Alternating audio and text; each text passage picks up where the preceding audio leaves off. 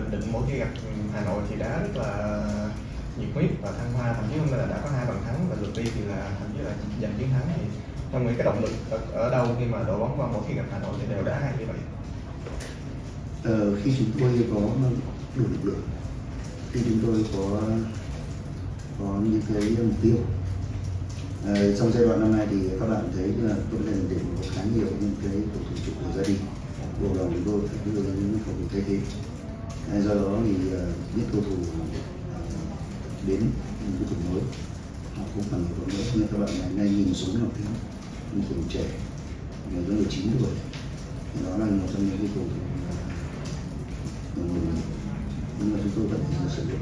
Chúng tôi cần sử dụng để tạo trao cho họ cái cơ hội.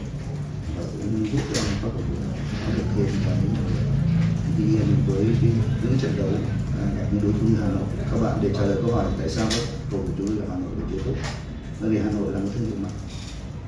Câu lạc bộ Hà Nội rất là nhiều lần vô địch nếu nói giàu truyền thống thì họ giàu truyền thống và ai cũng vậy thôi, khi mà gặp bóng giàu truyền thống là có nhiều các cầu thủ thì đấy là một cái để sự tự ái mình đối với các cầu thủ.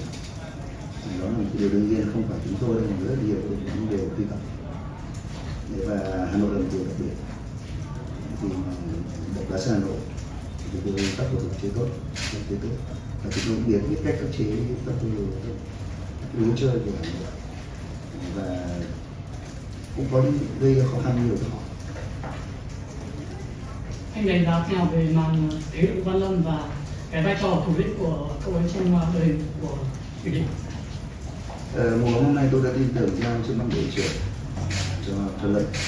Ờ, và khi cậu ấy có tố chất và cậu ấy có cái trình độ thì đó là một trong những cái điều à, chúng tôi cảm thấy cái sự sự lựa chọn đúng này. Và Văn Lâm đã đang làm tốt cái vai trò của mình.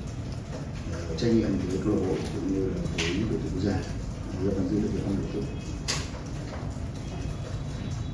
câu hỏi cuối cùng anh đánh giá thế nào về khả năng chơi chân của các vận động cái xu thế bóng đá nhìn chung bây giờ đang sử dụng những cầu thủ những thủ môn ờ, chơi chân tốt? Ừm, tôi nghĩ là với ờ, Văn Lâm thì ờ, cái người trên chân điểm mạnh nhất của Văn Lâm tức là chính là khả năng phát năng phát bóng còn ờ, để chơi phối hợp thì ở Việt Nam cái đào tạo chúng ta chưa đủ. Chúng ta chưa đủ. Để chúng ta chúng ta nên nhìn mỗi người mạnh là khả năng chơi chân tốt nhất. Bởi vì cậu ta, tôi biết cậu ta là khi mới xuất xuất thân bắt đầu tập tành là cậu chơi chơi chơi chơi tiền đạo. Do đó là cái khả năng chơi chân nó đòi hỏi rất là cao và những cái cầu thủ mà tập luyện chúng ta chúng ta nên nhìn thấy vấn đề cái chất lượng đào tạo. Chúng ta không đào tạo được các thủ trên không chú trọng về việc các thủ môn trên chân tốt và thậm chí kể cả các trung vệ. Rất ít các trung vệ chơi bóng bằng chân khả năng tổ chức triển khai tấn công đó là cái một trong những điều khó khăn. Khi mà, mà, mà đội bóng cần phải đề cao để chiến tấn công tôi nghĩ là với dẫu sao thì Lâm cũng được đào tạo ở Việt Nam thì không phải đào tạo ở nước ngoài.